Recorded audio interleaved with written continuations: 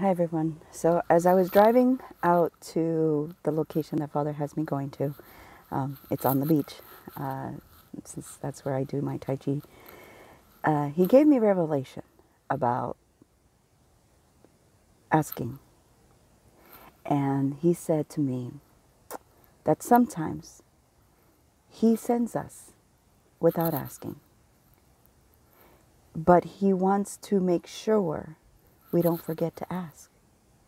Even when we have his authorization to go in that direction, we should always seek his path, always seek his will, always seek his will.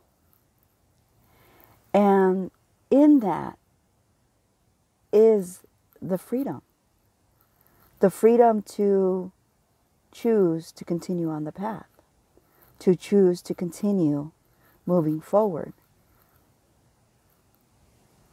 with Him at the lead. So even though He gives you the freedom to go without asking, ask.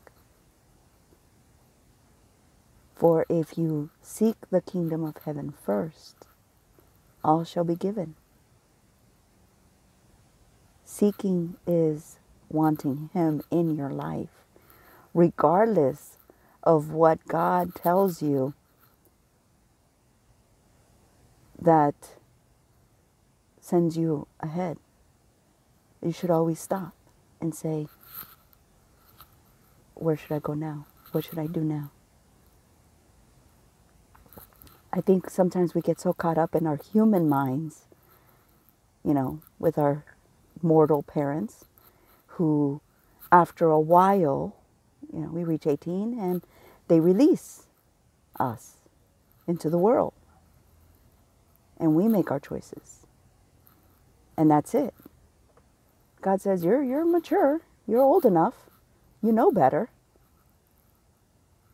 You know better. So ask. May this word bless you and may you find peace and love in our Lord Jesus. Amen. Goodbye for now.